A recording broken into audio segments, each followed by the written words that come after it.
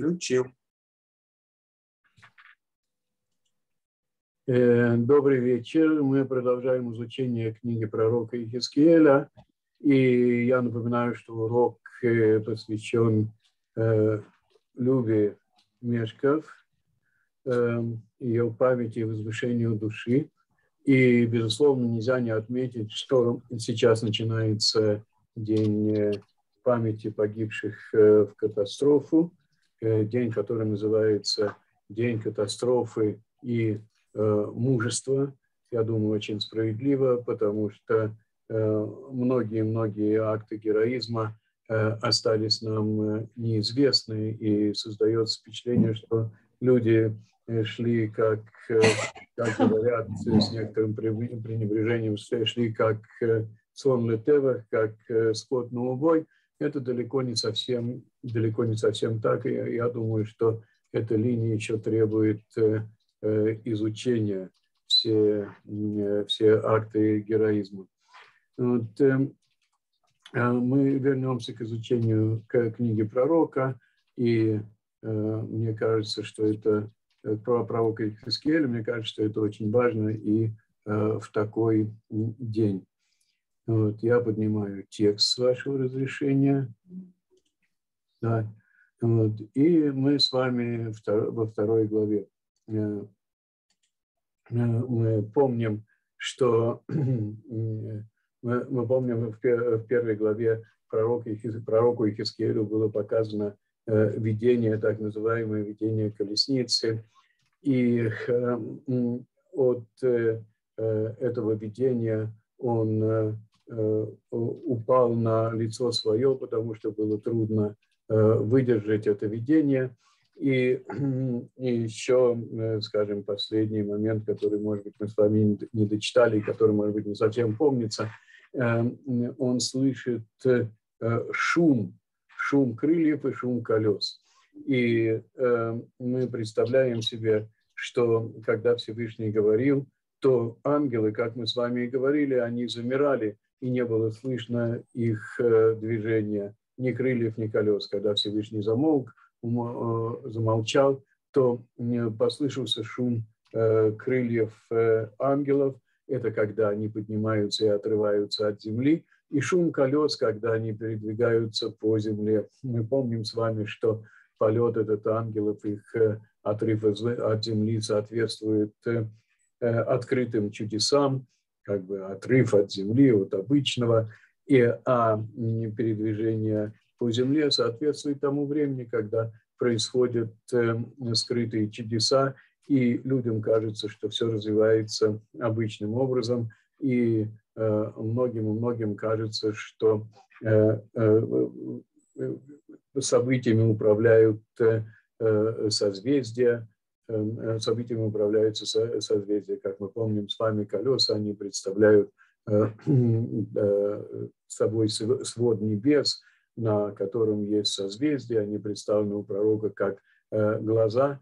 И э, мы с вами понимаем, что это правомерно. Пророк видит э, это видение, оно призвано не только как бы дать истинную картину, картину мира, не только показать истинные моменты, оно, оно призвано, это видение, исправить те представления, которые есть у людей или которые складываются у людей, когда они попадают в изгнание. И вот э, у народов мира во всех э, практически древнем мире представление о том, что созвездия управляют э, событиями на Земле и что иногда можно изменить эти, эти события, принося жертвы звездам, как божествам или божествам, которые олицетворяют Э, звезды можно изменить этот ход событий. И отсюда это выражение, которое мы часто с вами встречаем у комментаторов, встречаем в Талмуде, э, «овдейку хавим», те, кто служит звездам. Оно эквивалентно э, тем, кто служит идолам. Эти моменты очень сильно между собой переплетались.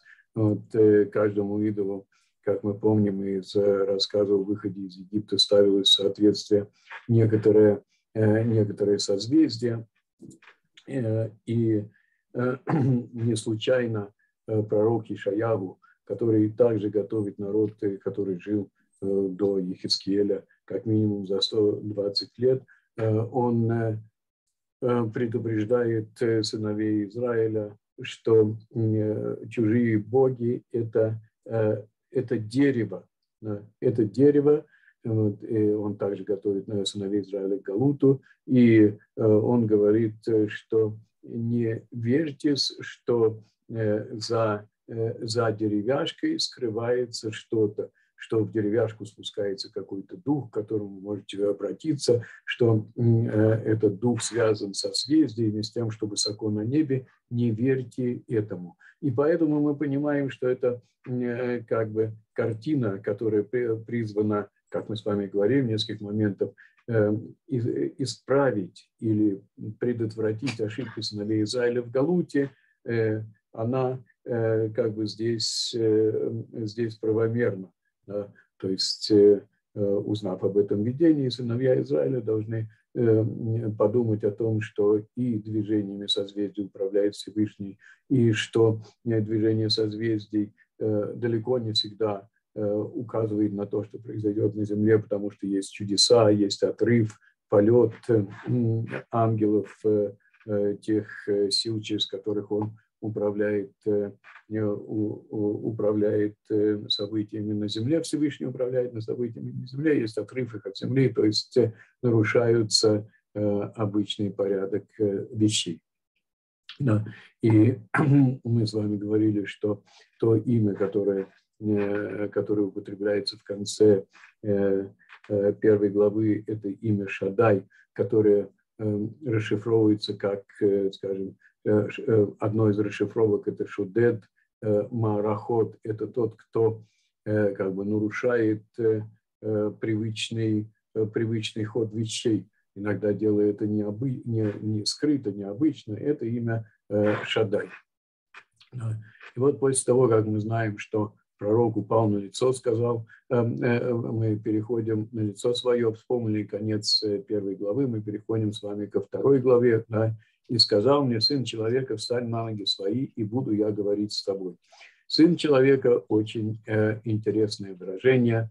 Э, э, оно указывает на э, э, достоинство Ихискиеля, который находится в изгнании и, э, и, сохраняет, э, и сохраняет человеческий облик. В нем Эм, как бы есть перекличка с тем, что он видел э, до сих пор Ехискель, он видел образы, он видел образы ангелов, и он видел э, какое-то подобие, э, далекое подобие человека, который сидит на, на престоле над небесами, который сидит на престоле над небесами, и,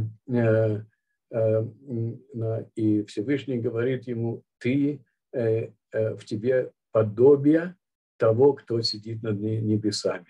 Не подобие, не подобие ангелов, не подобие э, тех сил, которыми Всевышний управляет миром. Это все относится к народам мира. Ты сохранил подобие того, кто сидит над небесами, несмотря на то, что он, эм, он удалился, отдалился от этого мира, ты сохраняешь эту связь, она выражается как подобие.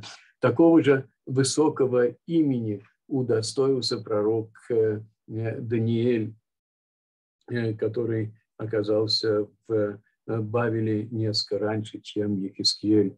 Мы помним с вами, или, может быть, стоит сказать о том, что до изгнания, до изгнания Ихонии, которое произошло за 11 лет Э, до разрушения храма, изгнание Ихонии, это изгнание царя, пленение царя Ихонии, э, когда он приведен э, в Бавель вместе с почти 30 тысячами сыновей Израиля, лучшими сыновьями сыновей Израиля, которых царь забрал, мудрецы, смелые воины и пророки, они приведены в Бавель. За, за год до этого, примерно за год до этого, Навыходный царь забирает э, детей из эм, э, царского дома детей из рода Давида и приводит их, приводит их в Бабель в качестве заложников. Они служат у него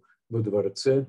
И эти дети, мы знаем их, это Ханани, Мишель и Азария, и Даниэль. Так вот, Даниэль также удостоился этого высокого, высокого имени сын человека, тот, кто сохранил образ. Почему? Потому что, находясь даже во дворце Навуходнецара, будучи полностью подчинен ему, он соблюдал законы Торы, кашрут, и впоследствии он стал одним из глав изгнанников и заботился о том, чтобы такой же э, образ человека оставался у всех изгнанников. Он вел целый ряд законов, направленные по постановлений, э, как э, один из руководителей поколения, направленные на то, чтобы отдалить сыновей Израиля от общения, от общения, от совместных перов, трапез с идолопоклонниками, которые разливают вино в честь божеств. Да? Вот, и вот это как бы сын человека противоставляет э, животному облику тех ангелов, которые ты только что, которые ты только что видел. Ты черпаешь свои силы, свое начало не оттуда, а, а с, из своего образа и подобия, который сохранился у тебя, образа и подобия тому, кто сидит над, э, над небесами. Э, э, сын человека, встань на ноги свои, и буду я говорить с тобой. Всевышний Ихискель упал на, на лицо, как это бывало с, наверное, с большинством пророков. Очень трудно выдержать очень трудно выдержать пророчество, раскрытие божественного света, и человек не чувствует в себе сил Э, смотреть напрямую то видение, которое предстает перед ним, и он падает на лицо, ему кажется, что так это видение пропадет, пропадет оно или нет, это непонятно, но э, такое инстинктивное движение упасть на лицо э, свое. Всевышний дает ему силы видеть это пророчество полностью, без, без того, чтобы пытаться скрыться от этого пророчества. И и я буду говорить с тобой. И вошел в меня Божественный Дух, когда Он говорил со мной, и поставил меня на ноги, и услышал я того, кто обращался, услышал я того, кто обращался ко мне. Э, вошел в меня Божественный Дух – это э, редкое, э, редкое выражение, может быть, даже единственное. Обычно Божественный Дух ложится на пророка. Он как бы Э, остается вне, э, как э, говорят каббалисты, некоторый такой мотив, то, что окружает человека. Здесь Божественный Дух входит прямо в Ехискеля, и это указывает на его силу как пророка, на любовь Всевышнего к нему и, если так можно сказать, желание Всевышнего донести до пророка, а через него до сыновей Израиля самые-самые Э, сильные, э, самые сильные видения и э, слова, которые могут показаться очень тяжелыми. И услышал я того, кто обращался ко мне. Но Всевышний уже раньше обращался к Ехискелю. Здесь говорится «услышал» в том смысле, он дал мне силы понимать. Понимать и не закрываться от, от понимания тех тяжелых слов, которые произносит Всевышний. И сказал мне, сын человека, посылаю я тебя к сыновьям Израиля, народам бунтующим, которые э, взбунтовались против меня. Они и отцы их восстали против меня до, э, до этого самого э, дня. Понятно, что сыновья Израиля часто, нередко они шли Э, против Всевышнего, и в случае изготовления золотого тельца можно сказать, что это золотой телец, это ошибка, это не прямой бунт. Вот, и э, о чем же здесь идет э, конкретно, конкретно речь? Речь идет о том, что сыновья Израиля на протяжении многих и многих лет, начиная от, начиная от завоевания земли, от Иошуа, который был пророком, они не слушали пророков и не исполняли волю Всевышнего, которая передается через, которая передается через пророков. И в этом, в этом они похожи на народ, который бунтует против Всевышнего. Мы можем с вами вспомнить, если говорить о Северном Царстве, сколько чудес, сколько чудес сделал Всевышний через пророка или Ягу, через пророка Илиша, для того, чтобы сыновья Израиля вернулись к служению Всевышнему, для того, чтобы э, э, жители Северного Царства начали приходить в храм, но ни цари Северного Царства, ни жители Северного Царства не услышали, э, не, как бы не, на них не подействовали ни чудеса, ни слова пророков, и дело пришло к изгнанию, север, дело пришло к изгнанию Северного Царства – Северное царство пало где-то на 140 лет раньше э, э, Южного царства. Э, точно так же и в Южном царстве не слушали пророков, но самое важное сейчас, если говорить о последнем, то в это время в Иерушалаиме уже почти 30 лет пророчествует пророк Еремиягу. И он призывает сыновей Израиля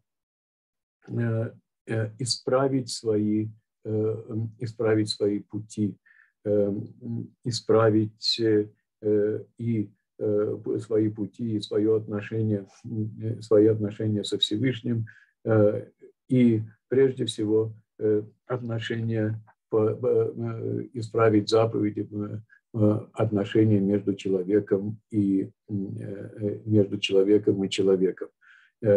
И Э, э, пророк Иеремьягу пророчествует э, во времена, во времена, скажем, и во времена царя Иоакима, который, который скажем, да, во время которого распространяется особенно сильно и обман, и взяточничество, и угнетение человека человеком, э, угнетение своего ближнего. Э, э, и Иеремьяву все время повторяет, что обычно принято считать Иеремьяву пророком поражения, как будто он говорит «сдавайтесь» сыновьям Израиля. Нет, он не говорит «сдавайтесь». Он говорит либо исправьте свои дела, либо покоритесь цару и это Э, и это будет ваше наказание, как бы э, изгнание. Но, э, но если вы примете волю Всевышнего, то это изгнание, оно будет, оно будет легче. Вы будете под властью чужого царя, но храм не будет разрушен, Иерушалаем не будет разрушен, и вам легко будет восстановить свои силы, когда вы искупите свои грехи, искупите и страданием, и подчинением Навуходнецару, и своим пониманием э, того, почему вы попали в такое э, положение. Но если вы найдете в себе силы исправить сейчас свои дела, исправьте. Э, до последнего момента Иеремьяву будет пророчествовать в Иерушалаиме, до последнего момента э, Всевышний будет э, э, говорить, что нужно делать, сделать, что нужно исправить конкретно для спасения, но, к сожалению, народ не идет по, не идет по этому пути. Да. И к народам бунтующим, конечно, можно говорить о прошлом, да, и об идолопоклонстве, которое распространилось в эпоху судей, так и не было искоренено и о том, что не слушали, э, э, и о том, что не послушали э, пророка Шмуэля и устранили его от руководства, и о том, что не слушали сильнейших пророков в дальнейшем, особенно в Северном царстве. О всем этом можно говорить, но конкретно, конкретно да, это нежелание исправить свои грехи, желание выйти войной, выступить войной против цара, ничего не исправляя в стране и открытый как бы открытое отклонение, отказ послушаться пророка, пророка Еремиягу. Это народ бунтовщики, как бы конкретно сейчас, да, вот не желают свои исправить дела, но хотят только э, эм, восстать против э, Еремиягу. Если они хотят восстать, если хотят восстать против Еремиягу, это относится к тем, кто э, остался в Иерушалаиме, к царю Циткиягу, его приближенным и жителям Иерушалайма. Причем здесь те люди, которые находятся сейчас, которые находятся сейчас в Бабеле. Э, в Бавеле находятся очень важные люди, очень сильные люди, и между Бавелем и Иерушалаем идет постоянная, э, постоянная переписка.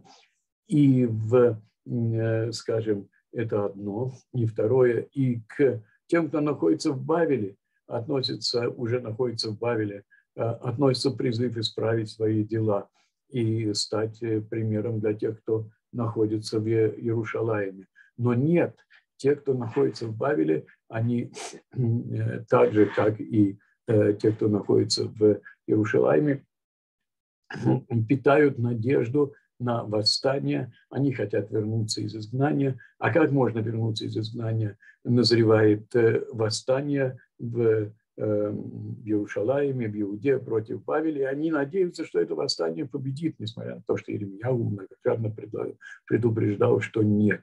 Да?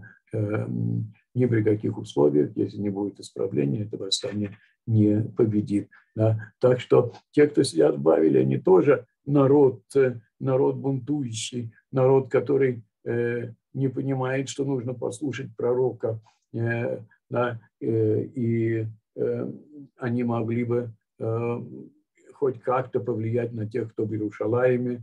Нет, они также надеются на успех восстания без всякого, без всякого исправления. Вот.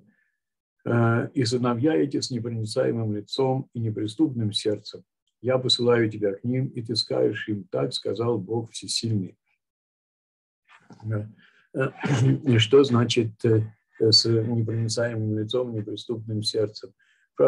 Всевышний, слова пророка здесь, слова Всевышнего, переданные через пророка, они очень э, точные. Да? Иногда э, человек делает такое лицо жесткое, равнодушное, что ему все равно, но однако э, слова доходят до, до его сердца, он слышит их, они влияют на него, и если не с одного раза, то с десятого, с двадцатого он э, вдруг э, э, расплачется, поймет то, что происходит, и захочет измениться. Здесь не та ситуация. Здесь у людей и непроницаемые лица, и неприступные сердца. Они как и смотрят на тебя непонимающим взглядом, так и сердца их твои слова не затрагивают. Я посылаю тебя к ним, и ты скажешь им, так сказал Бог Всесильный. Да? предупреди их, что так говорит, э, так говорит Бог, да, что это не да, нужно э, сто и сто раз сказать, что это не слова, э, это не слова пророка, это слова Всесильного, переданные через пророка. И дальше очень тяжелые, может быть, по-своему красивые слова, да, они будут ли слушать, а скажутся ли внимать тебе, ведь дом мятежный они. Но ты говори с ними, чтобы когда-нибудь они поняли, что пророк был э, среди них. Да? Вот, э,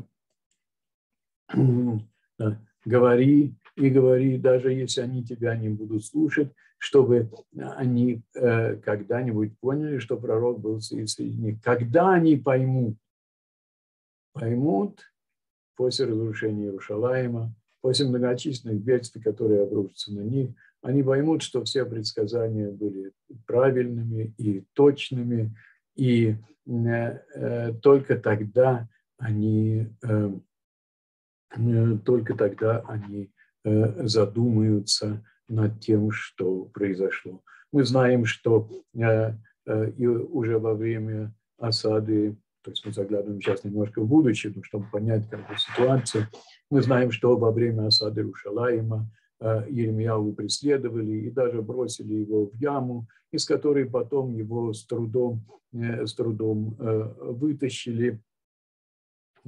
То есть до самого конца не хотели его слушать. Однако после разрушения, после разрушения храма Э, к нему обращались э, со словами «Отец наш, Еремиягу», и э, просили, чтобы он не оставлял их.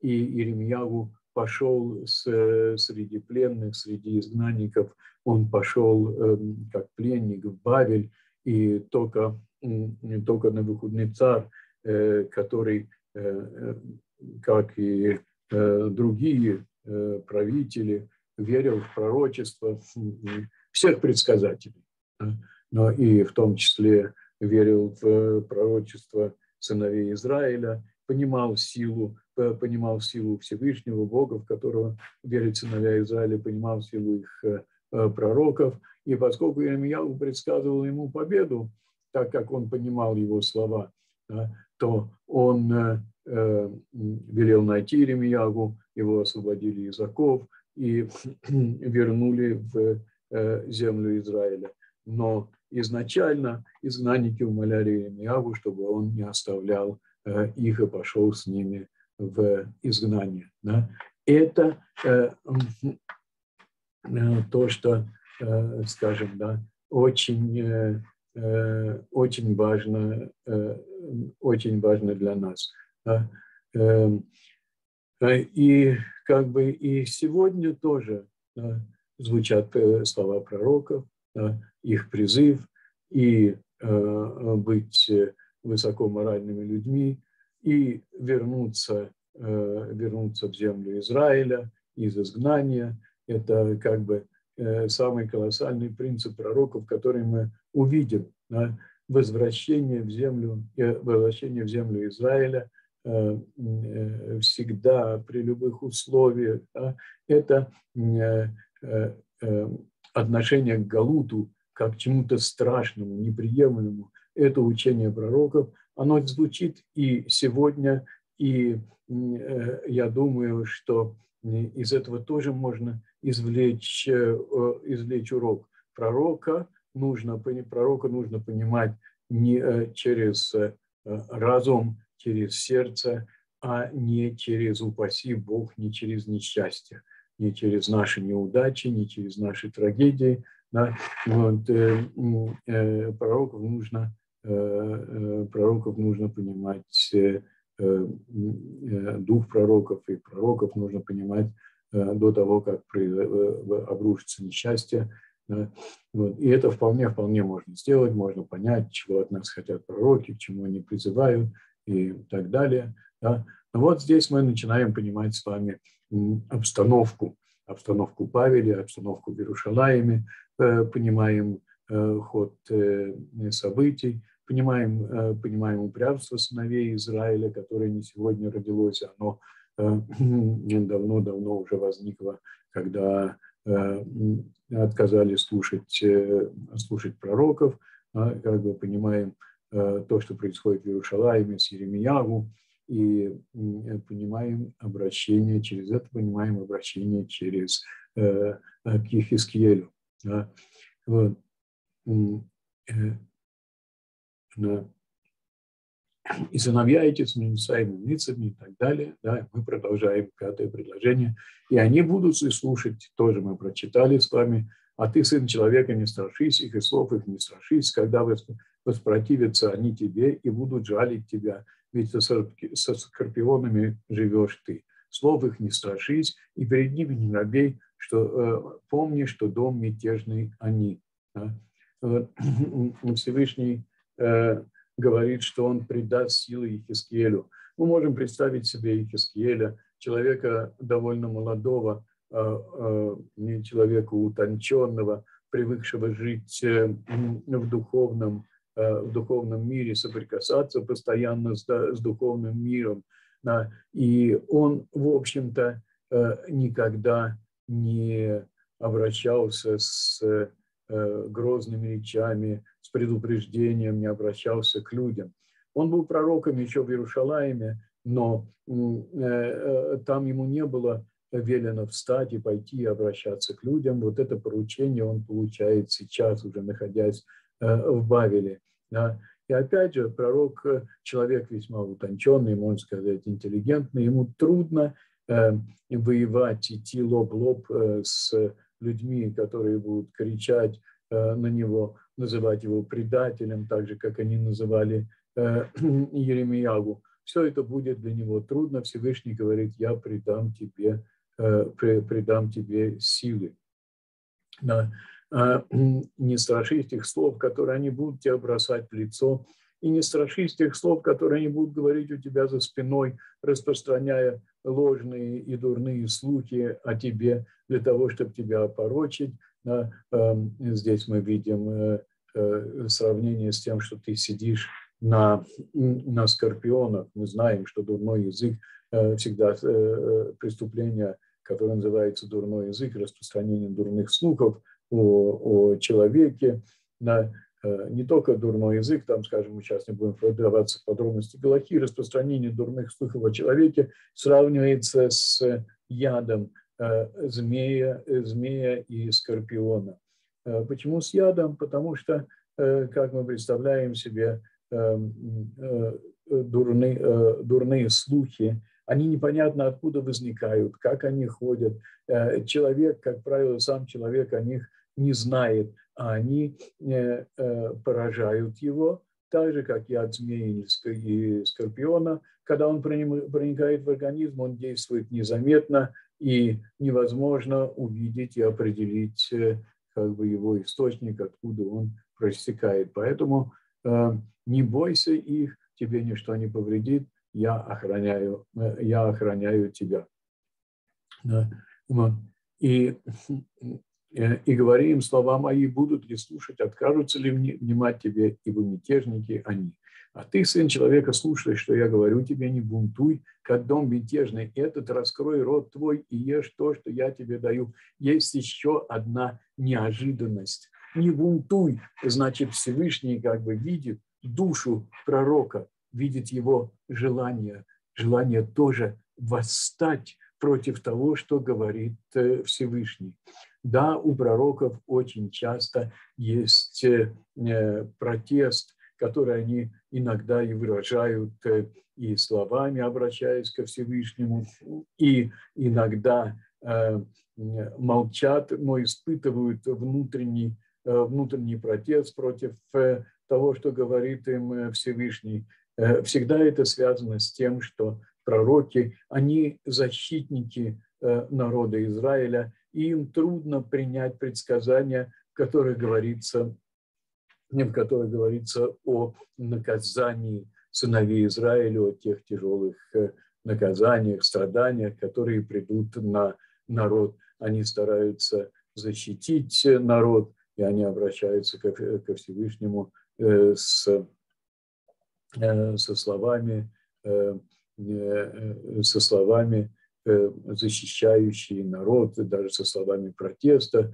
Э, вот. И Всевышний видит Ихискеля. Конечно, Ихискелю сейчас придется пророчествовать, говорить о тяжелых пророчествах, может быть, еще более тяжелых или более конкретных, как бы, визуальных пророчествах, которые говорят о страдании, еще более конкретных визуальных, чем те, те о которых говорил Эм, э, о которых говорил э, Еремиягу, ему это очень тяжело, и он не может согласиться, э, не может согласиться с этим.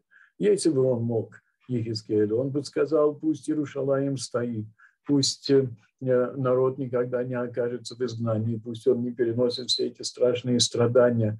Как-нибудь все наладится, как-нибудь все исправится. Да? Это то, что бы хотел сказать Ихискель. И поэтому Всевышний говорит, не будь как дом мятежный, да? Не, не, не присоединяйся к ним, не говори, что ты не будешь служить меня и не будешь нести мое слово им. Да? И дальше говорится еще очень интересный и неожиданный момент. Раскрой рот твой и ешь то, что я даю тебе. Да. Э, э, говорят, что э, Всевышний говорят, что Всевышний дал да, вот дальше говорится, увидел я, и вот рука протянута ко мне, и вот в ней свиток. Да. Говорят, что это свиток Торы. Всевышний вкладывает в, в рот Ехискеля Эм, да, вот мы видим, и развернул он его передо мной, а он исписан снаружи и внутри, то есть с одной и с другой стороны, и написаны на нем слова плача, и стоны, и причитания. Да. Э, э, скажем, э, изучение Торы, ее трудных, трудных моментов, труднопостижимых по той или иной причине, или потому что это тяжелые предсказания, или потому что это слишком как бы для человека очень высокие, э, высокие миры раскрываются. Да? Изучение Торы в таких случаях, когда оно очень трудно, оно сравнивается, э, оно сравнивается с едой. Об этом говорил царь Давид.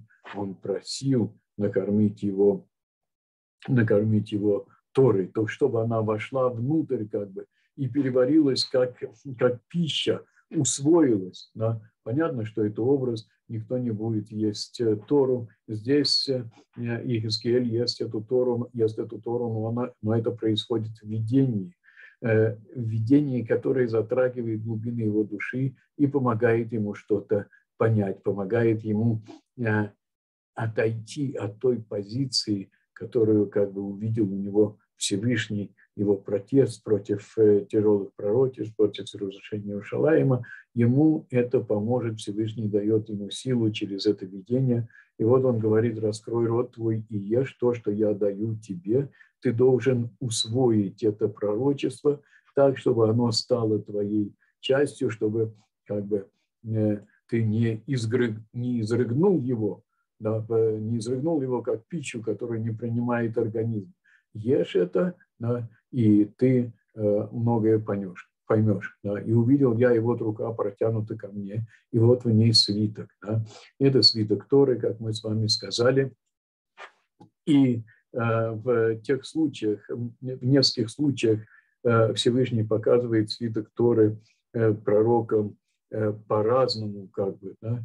И э, э, для э, Схарья это свиток Торы – Э, на котором э, э, на обратной стороне которого написано проклятие. Вот. А здесь Ехискель видит свиток Торы, свиток Торы, свиток Торы, но он весь, и он написан с той и другой стороны, и он весь читается как плач и стоны и причитания. Да. Тору можно прочитать по-разному. В ней можно увидеть э, разные стороны. Всевышний раскрывает этому, э, э, эту Тору, раскрывает пророку как сплошное несчастье.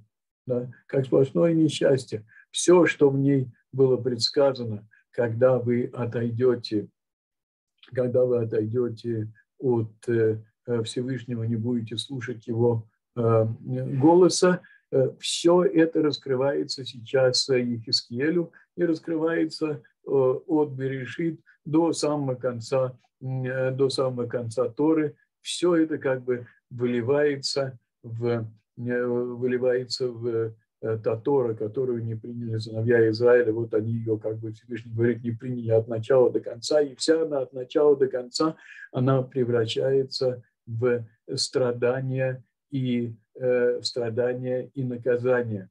А вместо радости, которую должна нести Тора, и всегда несет ее, она вдруг превращается в страдания. И она исписана и с одной стороны, и э, э, с другой стороны там страдания. То есть как бы Ехискелю э, показано, что вот, как бы если бы на одной стороне были страдания, да, были, Тора читалась как страдания, то казалось, могло показаться, что есть какой-то какой смысл сейчас раскроется с другой стороны, если повернуть Тору с другой стороны, а там что-то написано, то, что э, э, э, за этими страданиями, то, что тот свет, который раскроется через эти страдания, нет, да, нет, тебе сейчас все дается как Тора, как страдание, и ты должен это ты, ты должен это проглотить, ты должен это усвоить, что э, придут на сыновей Израиля наказания за то, что они не приняли Тору, и никакого, никакой даже ложки меда в бочке дегтя здесь, э, э, здесь не будет во всех тех э, наказаниях, которые обрушатся на сыновей Израиля.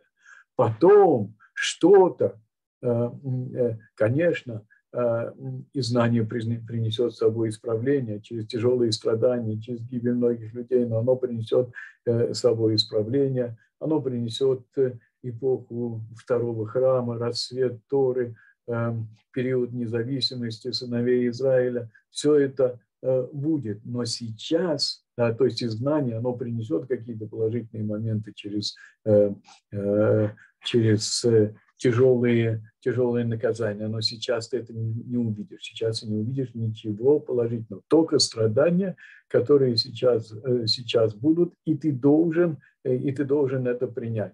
Ты должен поверить Всевышнему, да, э, ты должен поверить Всевышнему, что поверить Всевышнему, что через эти страдания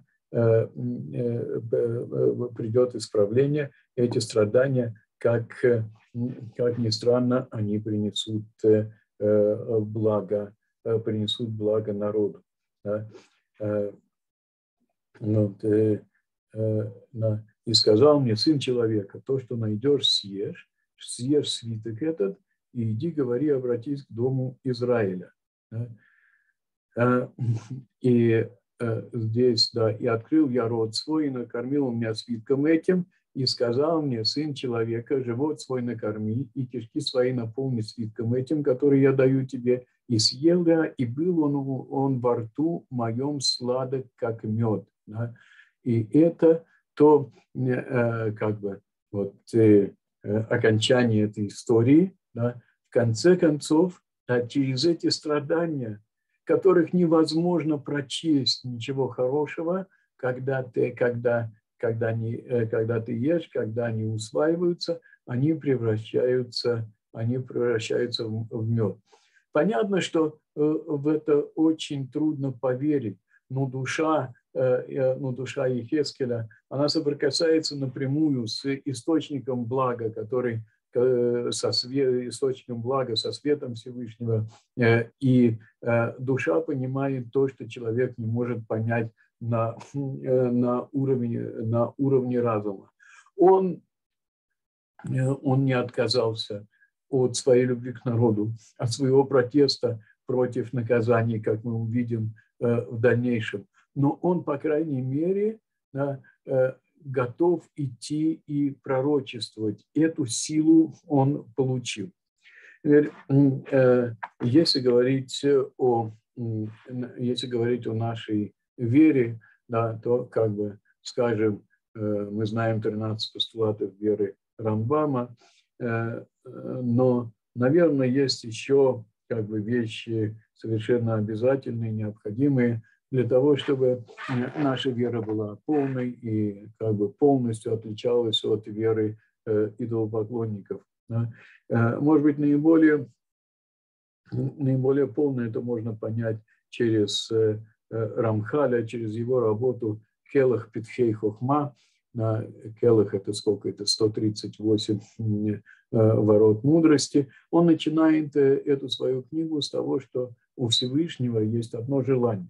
Он един, он не разделен. У него есть одно желание – это дать благо своим творениям, и ничто не может устоять перед желанием Всевышнего. И в, э, э, в конечном итоге все, что даже кажется человеку тяжелым, все это раскрывается как э, благо.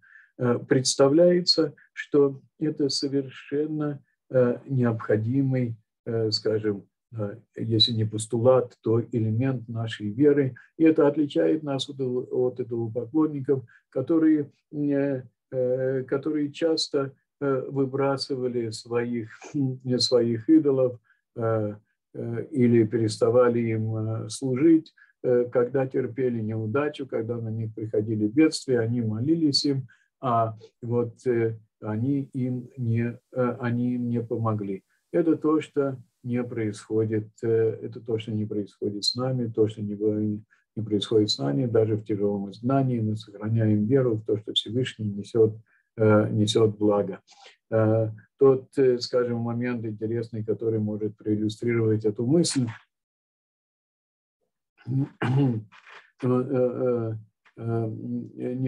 момент, который может проиллюстрировать эту мысль, это, скажем, события годичной давности в Индии. Мы знаем, что Индия полна и преисполнена самыми разными божествами, которым поклоняются, там, поклоняются так же, как и в Египте поклонялись всему, что живое, всему, что движется и так далее.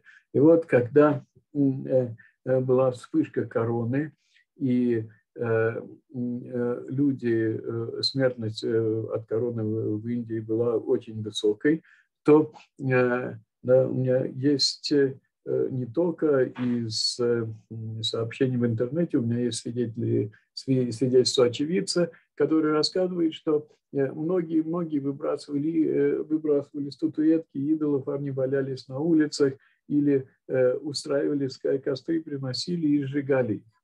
Да? Это наше отличие от идолопоклонников, принципиальный момент веры. Мы верим, что Всевышний благо, и даже когда мы не можем увидеть то благо, которое мы несет, он несет, мы верим, что все и все в мире направлено на благо. Да? Здесь мы остановимся, оставим несколько минут на вопросы. Э, пожалуйста, есть какие-то вопросы, то э, я могу попытаться ответить, э, попытаться ответить на них. Но в любом случае мы с вами можем заметить то, что, скажем, важно для нас, сколько неверных представлений о Боге, о жизни, о добре приносит с собой изгнание. И э, сколько усилий направляли э, пророки на, на то, чтобы э, предотвратить, предотвратить проникновение чужих представлений в среду еврейского народа, в среду сыновей Израиля. Мы с вами помним, всегда обращают внимание на то, что пророк Ишаяу говорит о том, что да, я, э, я Бог, э, э, я Бог творю, они вообще, я Бог, который творит добро и который делает, и который делает зло. Да? Вот всегда как бы упираются в эту строчку Ишаяру, говорят, что даже в молитве, в молитве ее изменили, что слово зло заменили на шалом, на мир – да, все это правильно, но понять, понять то, о чем говорит Ишаяву, да, э, и не сбиться, и не запутаться, и не представить себе, что Всевышний творит зло, что значит зло, да, то, то, э, скажем, зло, которое несет добро, оно уже не зло. Да, вот, э, и поэтому нельзя говорить, что Всевышний творит зло. О чем же говорит Ишаягу? Он предупреждает сыновей Израиля, да, чтобы они знали, Э, что Бог, Бог один, и от Него исходит все. Да? И э, народы мира всегда, всегда, всегда разделяют божества на те, от которых идет добро, и на те, от которых приходит э, зло. Да? Это как бы э, дуализм, который присутствует в любой, э, в любой, любой вере. Да?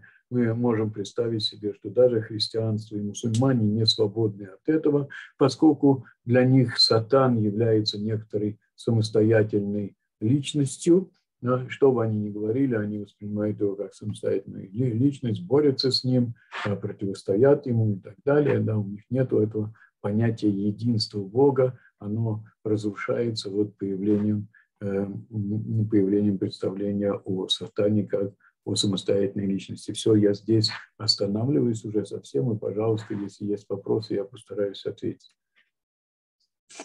Равзеев, если можно, вопрос по поводу связей, контактов Бабеля и Иерушалайма в это время.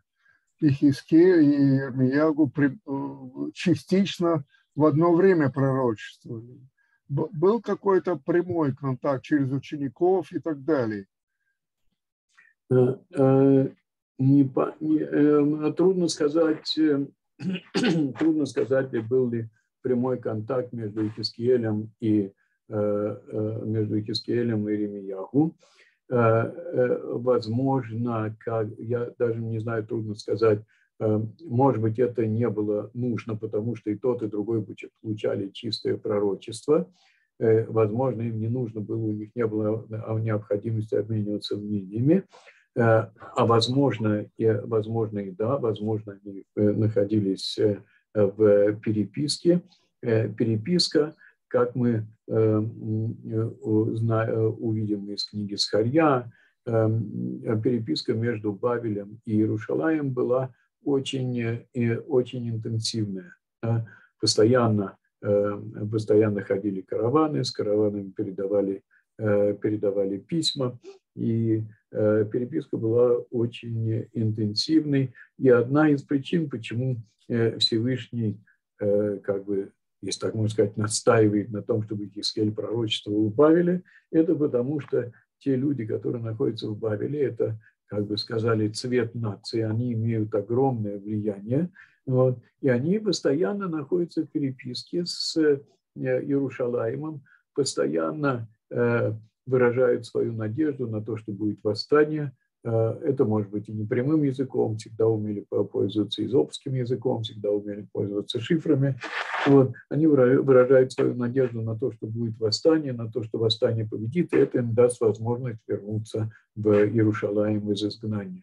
Да? Это, безусловно, эта переписка э, была очень, э, очень сильной и очень интенсивной включая между переписка между пророками, или это неизвестно? Включая? Включая, включая переписку между пророками или нет? Это неизвестно. У нас нет сведений. Можно предположить, исходя из ситуации, что между ними могла быть, э, могла быть переписка между Хискиелем и э, Еремиявом. Да? А, э, возможно, да, в дальнейшем вы, может быть, и правы, Ехискель э, в любом случае очень много подчеркнул у Еремиягу. Не знаю, можно назвать его учеником Еремиягу или нет, но он очень много подчеркнул. Мы в дальнейшем увидим, что он пользуется теми же образами, которые пользуется Еремиягу. Очень э, активно, если так можно сказать.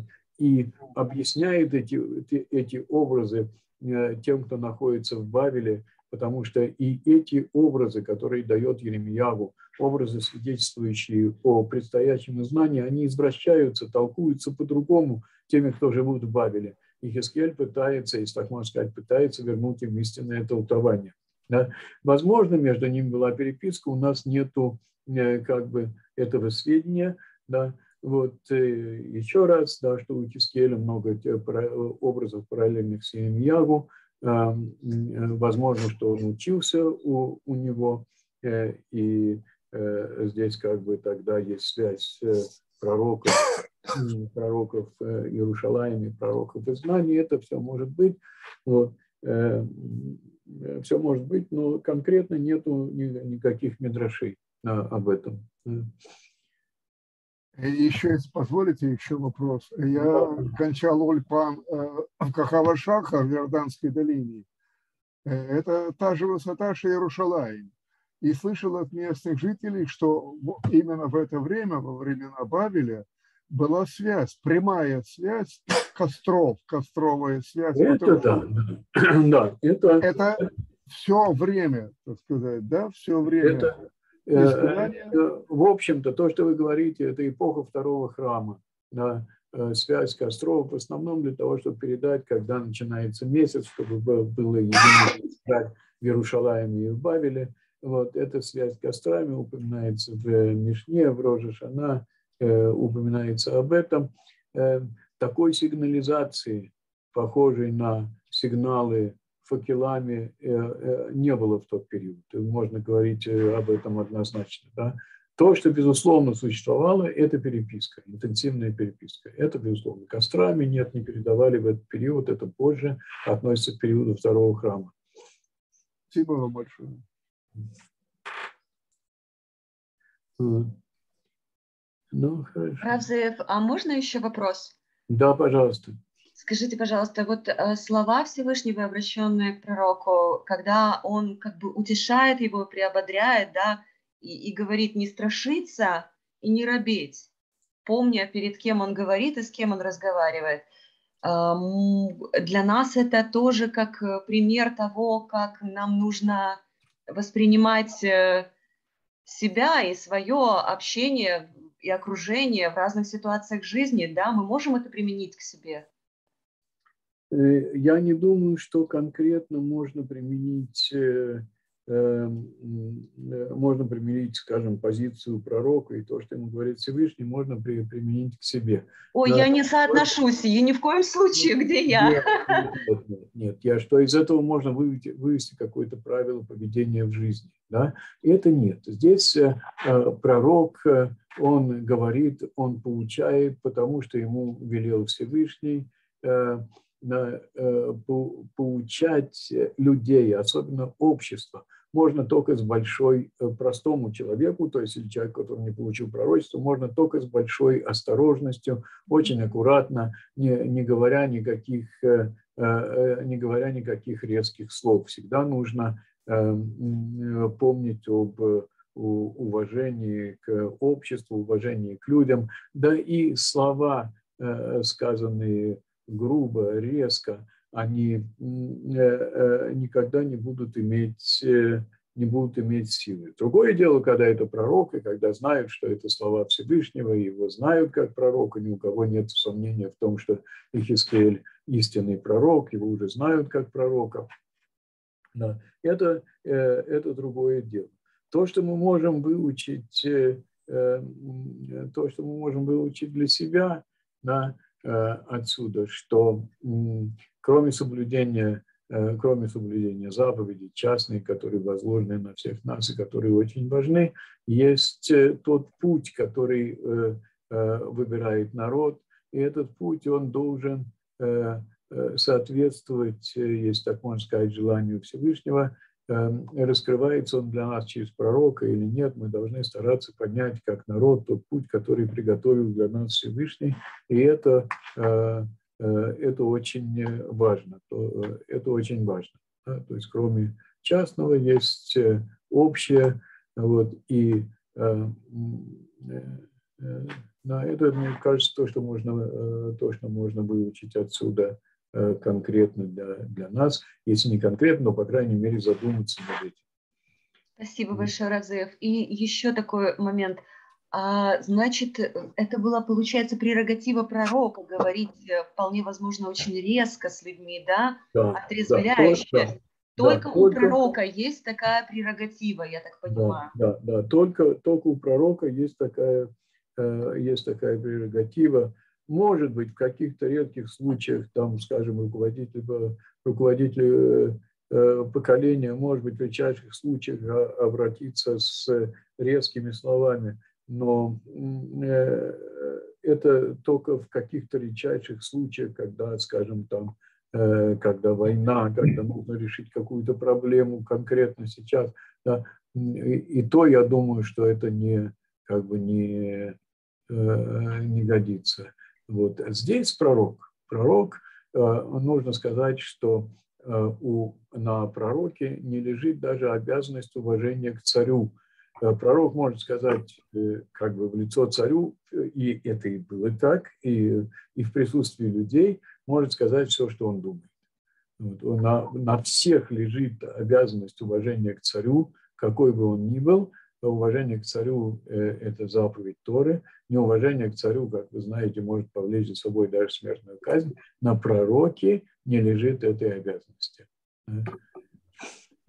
Шар, общий вопрос. Да, пожалуйста. Э, вопрос такого плана. Э, я слышал, что большая часть пророчеств, записанных в Танахе, они относятся ко времени последней Геулы, то есть к нашему времени. Так ли это? Можно сказать так, да, и мы немножко говорили об этом, да, что э, если говорить о последних пророках, о таких как э, Ишаягу, Иеремиягу, Ехискиель, то их, их предсказания имеют два пласта и два, и два плана. То, что мы иногда встречаем и в Торе. Один план – это если сыновья Израиля удостоятся, да, если они сохранят себя в изгнании, не подвергнутся влиянием народов мира, если они встанут при первой возможности вернуться в Иерушалаем, то, то избавление будет чудесное. Да, и вот это чудесное избавление, когда э, сравняются горы, когда опустятся горы, когда поднимутся долины, выровняется путь, да, то, что есть у Ишаягу, это относится к тому случаю, когда сыновья Израиля удостоятся. Мы уже этого не удостоились, по, э, история пошла по другому пути, и мы э, э, видим другой пласт э, пророков, э, который есть у пророков, это э, предсказание о том, что все будет развиваться э, более-менее естественным путем, скрытыми чудесами, да, э, то есть как бы второй сценарий, запасной, запасной сценарий. Да. Вот, мы идем по этому пути. Оба эти, оба эти пути присутствуют. Да. Вот. Оба эти пути присутствуют, поэтому можно сказать, что те чудеса, которые должны были произойти при возвращении из Бабеля, да, они не произошли, и мы читаем, в основном берем из пророков то, что относится к нашей последней геуле, то, что должно произойти э, э, без, э, без открытых чудес, которых мы не удостоились. Да? Вот, э, в этом плане. Но сказать, что только к нашей геуле относится э, невозможно, потому что есть и этот пласт, который относится к геуле из Бавеля, которая должна была быть и которая не, не состоялась. Ну тогда еще один а, такой наивный вопрос, скажем так. Э, э, если есть все же э, пласт, который относится к нашему времени, как мы должны использовать в наше время эти пророчества? И, первое и самое главное, да? То, что мы понимаем из пророка, то, что мы понимаем из пророка Ихискеля, который конкретно как бы его текст лежит перед нами, да? Мы должны понять, да? Насколько, э, насколько отвратительное изгнание да? и насколько исправление, насколько наше будущее и будущее всего мира зависит от нашего возвращения в землю, э, в землю Израиля, можно сказать, немедленно. Да? Э, э, этот, скажем, этот урок пророков и особенно урок по Ехискиеле, который мы с вами в 37 главе разбирали и, и, и, наверное, еще будем разбирать еще раз, когда вернемся туда, дойдем до 37 главы и 36 глава, которая говорит о цветении земли Израиля, все это Э, призывает нас прежде всего вернуться в землю, э, в землю Израиля. Это нам рассказывает о том, что исправление народа ни одного человека, ни его там личных качеств, когда он там сидит в своем доме или когда он уходит э, в лес далеко от всех, чтобы медитировать. Исправление всего народа может быть только в земле Израиля. Невозможно что-либо исправить в изгнании. Изгнание – это удар по голове, да, ты приходишь с этой головной болью в землю Израиля, и здесь начинаешь все, э, все исправлять. Это то, что мы можем выучить из пророков. Самое главное. Да? Э, пророк Схарья. Вернитесь ко мне, и я вернусь к вам. Да? Ну что, что еще можно больше сказать? Пророк Схарья, который ученик Ехискеля, он несет в себе этот же заряд отвращения к изгнанию и призыв вернуться. Да? Вот. Это, это, это, это общая линия, общая линия пророков. Да? Предсказания об изгнании и о возвращении, да? и постоянное учение о том, насколько отвратительное изгнание и насколько важно возвращение. Спасибо. Вопрос, разве еще можно вопрос? Да, пожалуйста. По поводу вопрос. диалога вот, пророка и лжепророка, Ирмиягу и Ханании. Да истинность пророчества одного и второго уже пророчества, она видна в итоге, она видна народу или нет? Это истинность. одного и ложность другого. Мы давайте не будем брать этот крайний случай, потому что он требует э, отдельного рассмотрения. Возьмем в общем вопрос очень важный.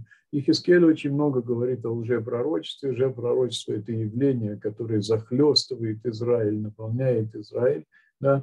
Э, есть, и это тоже очень важный урок для нас, я думаю. И э, эм, Рамбам пишет о том, что Э, истинный пророк, он э, утверждался Сангидрином, и его слово было обязательным.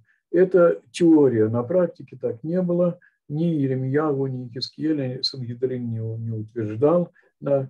И как можно отличить истинного пророка от ложного пророка, да, это очень трудно. Здесь нет никаких правил, только твоя Э, реакция, только чистота твоей души помогают тебе отличить ложь от, эм, от истины. Э, один из критериев, который, один из критериев, который, кстати, проявляется в том эпизоде, который вы упомянули, да, очень сильный критерий, да, то есть нету абсолютного критерия, но очень сильный критерий – это ложный пророк всегда говорит, все будет хорошо, все будет хорошо.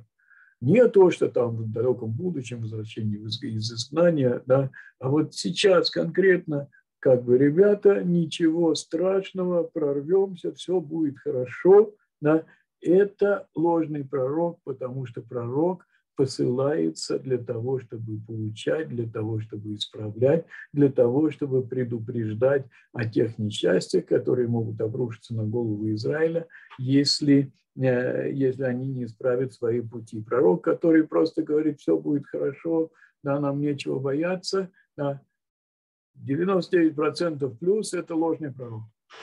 Да. Вот. А вообще ложного пророка от э, истинного отличить очень-очень э, очень э, трудно поначалу хотя бы. Да? Вот. И мы видим, как бы, да, возвращаясь к Иеремьяву, его считали предателем, и все, кто-то понимал, царь Циткияу уже понимал в какой-то момент, что э, Иеремьяу говорит истину, но вообще только после несчастья, после трагедии, когда все сбывается, и точно, как предсказывали пророки, сбывается, начинает становится понятно, вот, что пророк был среди вас. Да? Спасибо. Э, я очень рад э, нашему диалогу. Э, вот. Он очень, очень серьезный, да, поднимает те проблемы, которые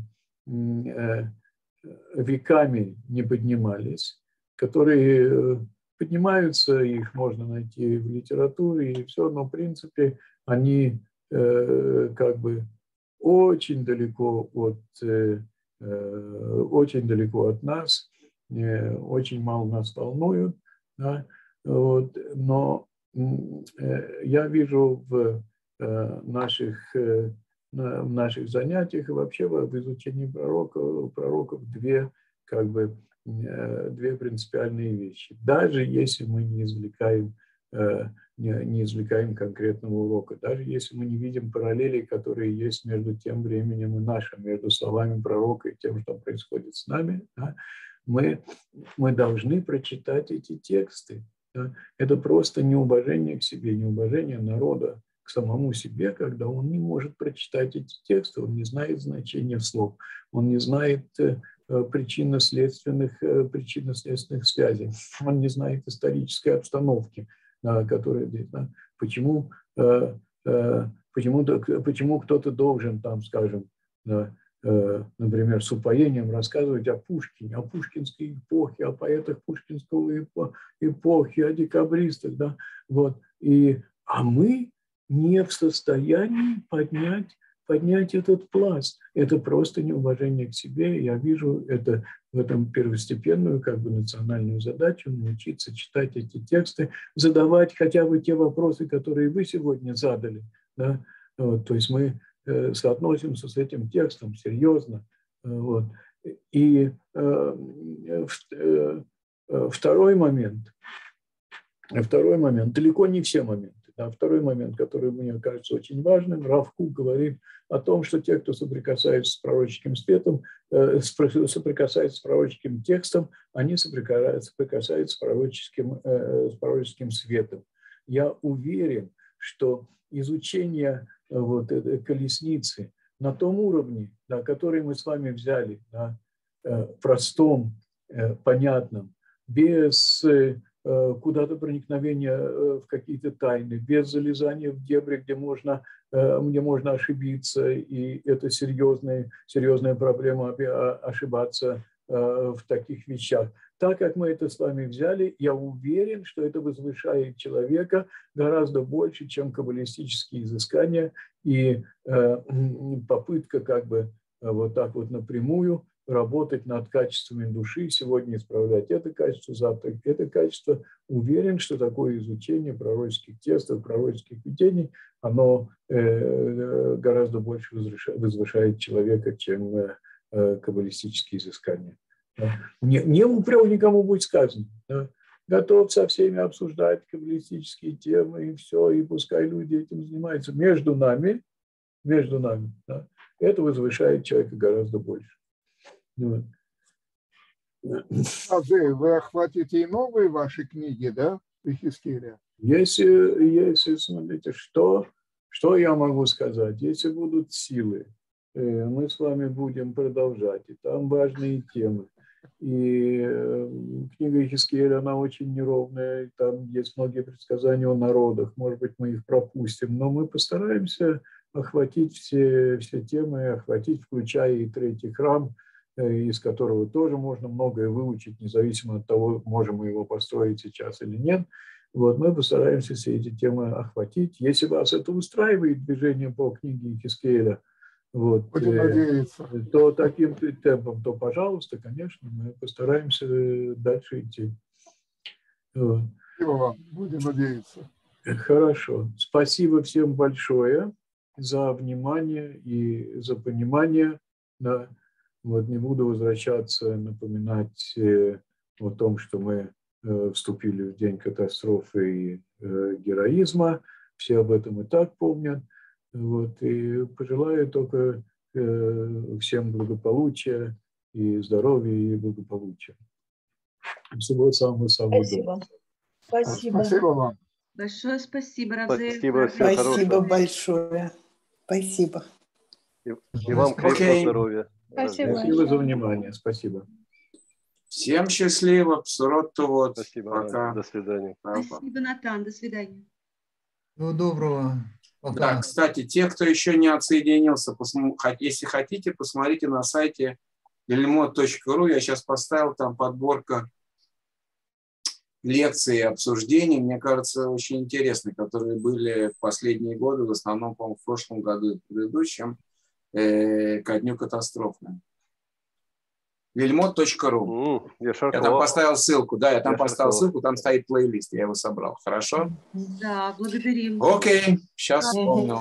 вчерашний, вчерашний урок я пропустила первый, и хотелось бы его послушать. В Телеграме ссылка, Лен, в Телеграме ссылка. В Телеграм не хожу. А, окей, я пришлю, нет проблем. Нет, нет угу. проблем, нет проблем, я пришлю, нет проблем. Спасибо. Всем счастливо, Спасибо. всем счастливо. счастливо. Вот, хорошее сообщение. Пока-пока.